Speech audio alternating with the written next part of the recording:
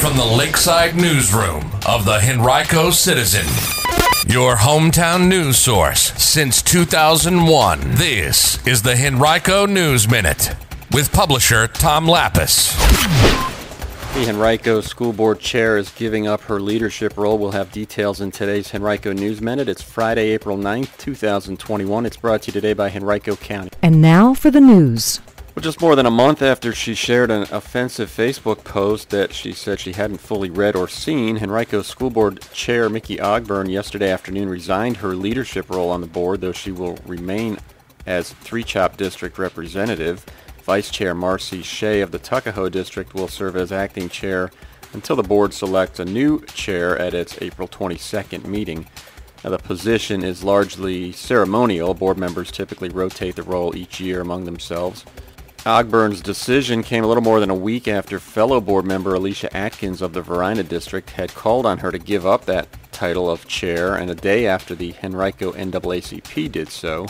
Two weeks ago, during a virtual listening session with the board, a number of citizens also expressed frustration that Ogburn was not being reprimanded for her actions, which they said would have drawn significant reprimands for students or employees. Back on March 5th, Ogburn shared a post on Facebook that lamented a recent decision by the estate of Dr. Seuss to stop publishing six of his books that it de- deemed partially racist. She wrote above the post, I love this, and Dr. Seuss books. The post contained a picture of the Grinch with his middle finger extended and a long poem written to mimic the Dr. Seuss style that criticized the idea that any Seuss books were racist.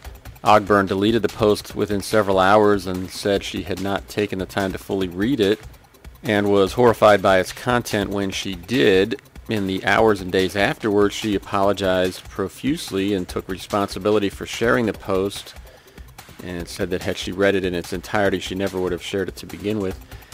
That didn't really sit well with many in the community, though, who wondered what part of the post she did love and how she had missed its tone, intent, and picture. After a special board meeting March 10th to address the issue, board members opted to undergo required cultural sensitivity and implicit bias training, but it appeared that Ogburn would retain her leadership position. Wednesday's declaration by the NAACP that it wanted her to step down may have been the final straw. The organization said that Ogburn, quote, has displayed a years-long pattern of racial insensitivity and that it had, quote, lost confidence in her ability to lead our county's growing and diverse school district, end quote. Ogburn had come under criticism for a 2016 statement when also serving as board chair. She apologized to constituents after Glen Allen High School showed a video to students that was designed to illustrate the concept that whites often have inherent advantages over minorities.